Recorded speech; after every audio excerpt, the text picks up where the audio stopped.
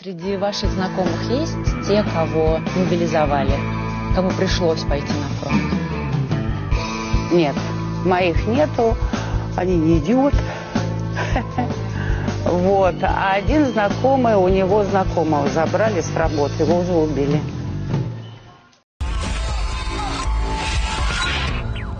Я рисковала сильно. Я была Рисковали как ученым. бизнесмен или По-всякому жизнью рисковала. Я... жизнью рисковали при каких э, Ну, обстоятельствах? смотрите, я была доцентом, все было хорошо. Так. Я все бросила и ушла в кооперативы.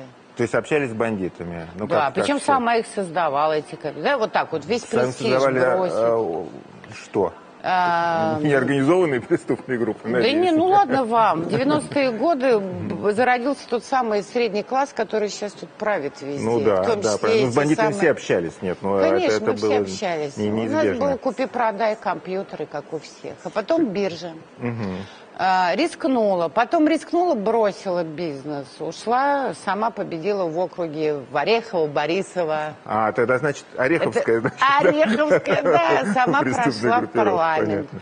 Потом, да, рискнула, пошла в президентскую кампанию. Потом... А в э, чем риск-то был идти в президентскую кампанию? ну, в Репутационный? оппозиции. А?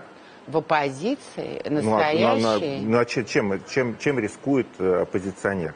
Сейчас, когда нет никакой идеологии, то есть я, я понятно, понятно, когда было про- противостояние там в конце 80-х идеологий. А Когда чем были- рискует оппозиционер настоящий? Да, да. Значит, э, при нынешней власти рискует никогда не получить денег на финансирование своей партии. Он должен... Ух, какое, сколько горя на земле. А горе, а как вы можете заниматься? То есть вам придется бросить профессию, вы не можете без денег заниматься политикой. Это несерьезно. Даже вся белоленточная оппозиция, она ищет деньги. Ну и они находят, они не И они ищут, находят, и они причем по-разному. Не политкорректно, но без злого умысла. Иронично, но без сарказма. Пристрастно, но по-честному. Правда 24 и Евгений Додолев.